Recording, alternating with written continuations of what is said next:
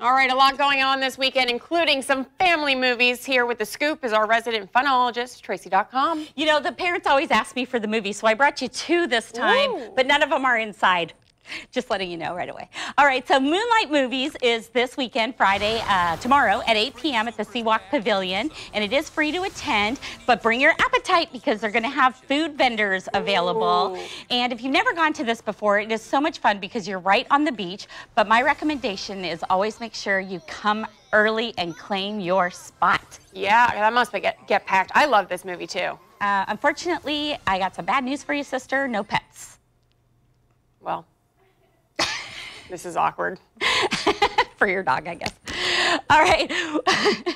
and also having a movie night is the Jumbo Shrimp. Oh, They- cool. yes, and it's the new Aladdin, the 2019 Aladdin. Yes, girl, with with Will right. Smith.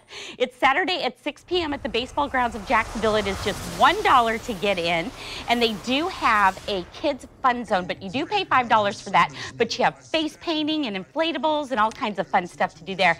Now, I will tell you this, you don't need to get there early because There's plenty of seats. plenty of spots on their field.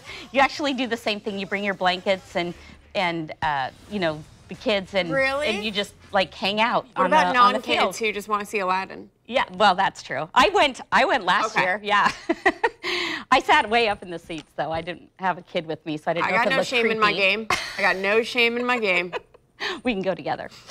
All right. Well, I don't know if you know, but September is National Recovery Month, and if you're a regular watching the show, then you know I'm. It's no secret that I am an alcoholic in recovery. If you're new to the show, you're probably like, "What'd she just say?"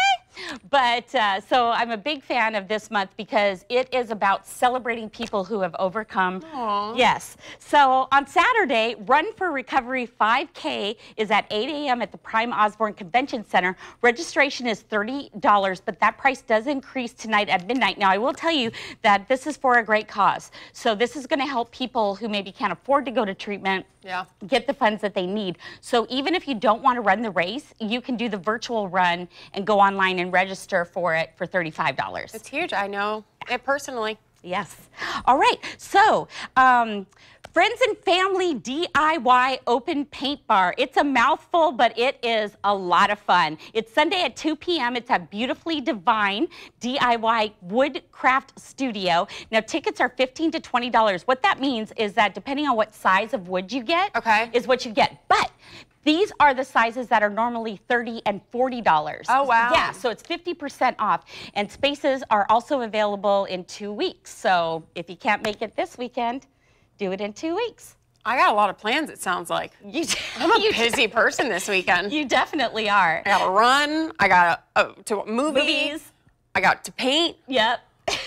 I'm busy. Please don't contact me for anything to do. I'm very busy right That's now. right. She's not going to be bored in Jacksonville, but if you're bored in Jacksonville, It's your own fault.